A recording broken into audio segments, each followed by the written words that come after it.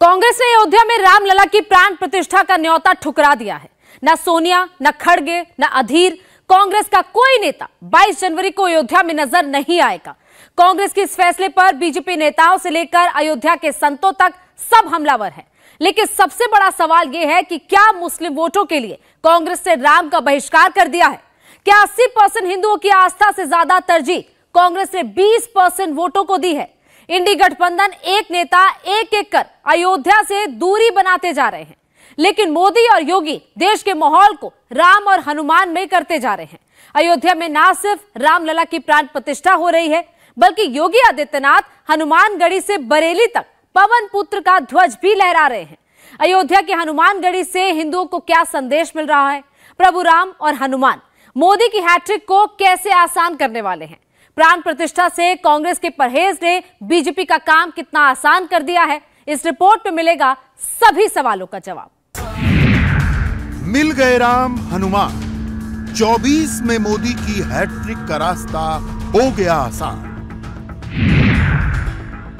कांग्रेस ने ठुकराया अयोध्या का इनविटेशन क्या खतरे में आ गया इंडी का 24 वाला मिशन राम भक्तों के अयोध्या जाने की तैयारी पूरी, लेकिन राम से इंडी ने बना ली दूरी। हिंदुत्व की सियासत में हनुमान का रंग घुला। हनुमानगढ़ी से हिंदुओं को क्या संदेश मिला? अवधपुरी के बुलावे पर कांग्रेस ने अपना फैसला ले लिया है। कांग्रेस को रामलला की प्राण प्रतिष्ठा का बुलावा मंजूर नहीं। रामलला की प्राण प्रतिष्ठा में न सोनिया जाएँगी, न खरगे जाएँगे। अधीर रंजन चौधरी ने भव्य प्राण प्रतिष्ठा से दूरी बना ली है। सीपीएम नेता सीताराम येचुरी पहले ही कह चुके हैं, वो अयोध्या नहीं जाएँगे। सवाल है कि क्या मुसलमान वोट के लिए राम का बहिष्कार हो रहा है? क्या मुस्लिम वोटों के लिए हिंदू भावनाओं को आहत किया जा रहा है? 80 फ़ीसदी हिंदुओं की आस्था पर क्या 20 फ़ीसदी मुस्लिम वोट बैंक हावी है? क्या पूरे इंडिया अलायंस में सिर्फ़ 20 फ़ीसदी मुस्लिम वोटों की लड़ाई होगी?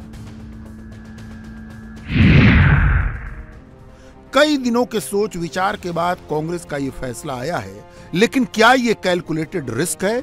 या कांग्रेस ये मान चुकी है कि 80 परसेंट हिंदू उसे वोट नहीं करने जा रहा? इसलिए स्कोप सिर्फ़ मुस्लिम वोटों का बचा है। कांग्रेस के इस फैसले से हिंदुओं में क्या मैसेज गया? मोदी, योगी, राम भक्ति और राम भक्त के ध्वज को ऊँचा करते जा रहे हैं। लेकिन एक एक कर इंडी गठबंधन के नेता अयोध्या में 22 जनवरी को होने वाली प्राण प्रतिष्ठा से दूरी बनाते जा रहे हैं। आने वाले समय में देश का बच्चा बच्चा इनसे सवाल पूछेगा सत्य तो ये है कि भगवान राम का ये मंदिर भगवान राम के सिर्फ़ प्रत्यक्ष मानने वालों का नहीं, इस परंपरा को मानने वालों के लिए था। तो आने वाले समय में इन लोगों को जवाब तो देना ही पड़ेगा। इन लोगों ने अपने पैर पे बड़ी नुकीली नुकीली कुल्हाड़ियाँ मार दी। मल्लिकार्जुन खड़गे ने और सोनिया गांधी जी और, जिस प्रकार से राम जन्मभूमि का निमंत्रण को उन्होंने ठुकराया है। दुर्भाग्य की बात है। हम लोग शुरू से ही कह रहे थे कि ये कालनेमी वाले रूप धारण करने वाले कांग्रेसी कभी राम जन्मभूमि मंदिर भव्य दिव्य निर्माण से खुश नहीं है। मेरा सवाल ये है इन लोगों से, क्या ये बीजेपी के इवेंट है क्या? आपने सीधे तौर पे कह दिया अर्धनिर्मित मंदिर और बीजेपी राजनीति करती है। बीजेपी ने आपको निमंत्रण दिया है क्या? आपको तीर्थ क्षेत्र ने निमंत्रण दिया, राम भक्तों ने निमंत्रण दिया, आपने राम भक्त के निमंत्रण को इस प्रकार से ठुकरा दिया, रहा न कुल कोई रोबन हारा यश होगा हाल तुम्हारा। इंडिया अलायंस ने सोनिया जी के नेतृत्व में, कांग्रेस के नेतृत्व में बार बार सनातन धर्म की उपेक्षा की, अपमानित किया। और अब इंडिया अलायंस के नेताओं द्वारा प्राण प्रतिष्ठा के पुण्य आमंत्रण को ठुकराना उनकी सनातन विरोधी सोच को दर्शाता है। उधर पूरी लगन से योगी अयोध्या में रामलला की प्राण प्रतिष्ठा की तैयारियाँ करवा रहे हैं और उसी आस्था से राम भक्त हनुमान की सेवा में भी हाजिर हैं। हनुमानगढ़ी से बरेली तक योगी हनुमानमय हो गए हैं। हिंदुत्व की सियासत में श्री राम के साथ पवन पुत्र हनुमान का जो रंग घुला, वो अयोध्या के साथ पैरल चल रहा है। क्योंकि रामलला की प्राण प्रतिष्ठा के बाद अयोध्या में जिन करोड़ों राम भक्तों का तांता लगेगा, वो राम मंदिर से पहले हनुमानगढ़ ही जाएँगे। मोदी भी पहले यहीं आते हैं, योगी भी यहीं आते हैं, यहाँ श्री हनुमान बाल रूप में विराजते हैं। अयोध्या से हिंदुत्व पर बीजेपी का संदेश संपूर्ण है।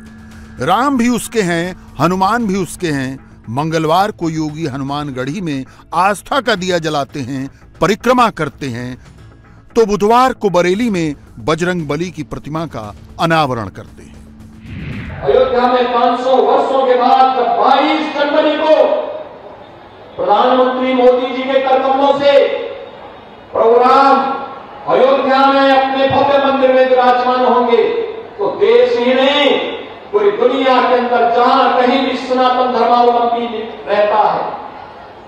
उसको तो गौरव की अनुभूति होगी ही, उसके चेहरे पर एक खुशहाली तो होगी। मेरा ये मानना है 22 जनवरी का कार्यक्रम। दुनिया के अंदर जहाँ कहीं भी सभ्यता और संस्कृति को कुचला गया होगा, उनमें एक आस है, उनके लिए एक नया विश्वास है 22 जनवरी का कार्यक्रम। और 22 जनवरी का प्राण प्रतिष्ठा का महोत्सव, हम सब अपने तरीके से कार्यक्रम प्रारंभ करें। कि आपको अयोध्या आना है, लेकिन 22 के बाद जिस दिन आपके जनप्रतिनिधि और संगठन के लोग कार्य योजना बनाएँगे, उस कार्यक्रम के तहत आपको अयोध्या आकर के प्रभु के दर्शन करने के लिए अपने आप को तैयार करना है। हम लोग तैयार है ना? संदेश साफ़ है। राम ना मिलेंगे हनुमान के बिना। लेकिन ये मैसेज किसके लिए है, ये भी देख लीजिए। मध्य प्रदेश विधानसभा चुनाव में कमलनाथ हनुमानमय हो गए थे। सुंदरकांड का पाठ करवा रहे थे। कांग्रेस दफ्तर में हनुमान चालीसा पढ़ी जा रही थी। बीजेपी के रामबाण की काट में श्री हनुमान के नाम को सियासी मैदान में उतार दिया गया था।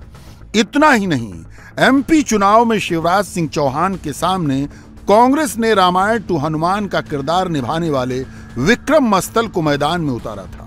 मध्य प्रदेश के मौजूदा नेता प्रतिपक्ष उमंग सिंघार ने तो आदिवासी वोट बैंक की पॉलिटिक्स में भी हनुमान जी को उतार दिया था और उन्हें आदिवासी बता डाला था।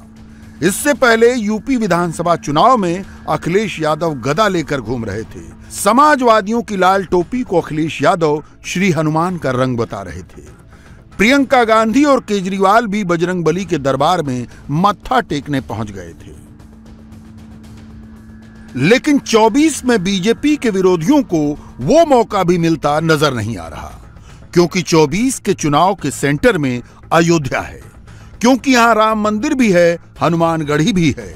हनुमानगढ़ी पर माथा टेकने के बाद ही रामलला के दर्शन हो सकते हैं। करोड़ों हिंदुओं के लिए हनुमानगढ़ी का महत्व राम मंदिर से कम नहीं। आपको बताएँगे कि हिंदुत्व की सियासत में श्री राम के सामने उनके भक्त हनुमान को क्यों खड़ा किया गया? लेकिन उससे पहले चलते हैं हनुमानगढ़ी। हनुमानगढ़ी का ये पूरा एरिया बावन एकड़ में फैला है। मान्यता है कि रामलला के दर्शन से पहले हनुमानगढ़ी में जाकर हनुमान जी की पूजा अर्चना की जाती है और उनसे प्रभु श्री राम से मिलने की इजाज़त मांगी जाती है। यहाँ हनुमान जी की प्रतिमा दक्षिणामुखी है। साथ ही बाल हनुमान के साथ माता अंजनी की भी प्रतिमा है, जिसमें बाल हनुमान अपनी माता अंजनी की गोद में लेटे हैं। हनुमानगढ़ी मंदिर सरयू नदी के दाहिने तट पर है, जो एक गुफा मंदिर है।